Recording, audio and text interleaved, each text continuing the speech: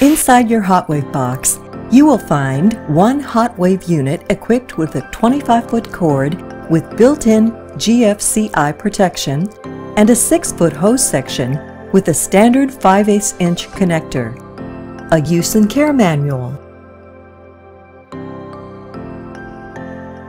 a quick start guide,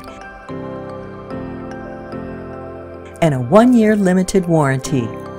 Connect HotWave water connection to a standard garden hose by twisting the female fitting onto the male end of the hose.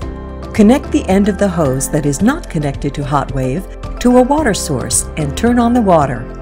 Once water is turned on, pull the trigger to initiate flow through HotWave. This is important.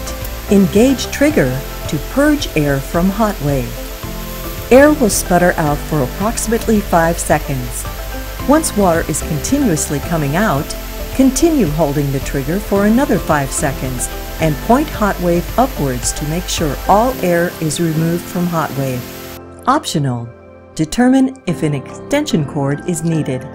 If using an optional extension cord, the extension cord must be UL listed for outdoor use, rated to 15 amps, be 50 feet or less in length, and use a minimum 14 gauge cord. Connect HotWave power cord to the extension cord. Do not plug the extension cord into an outlet at this time. Plug HotWave electrical power cord into a GFCI protected wall outlet or extension cord if needed.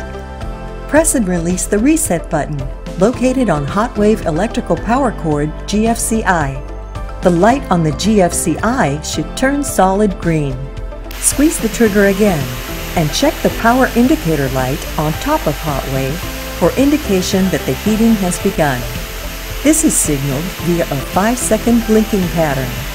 After the 5-second blinking pattern, the power indicator light will change to a solid green color and will remain lit as water flows through the device. Now you are ready to begin using HotWave.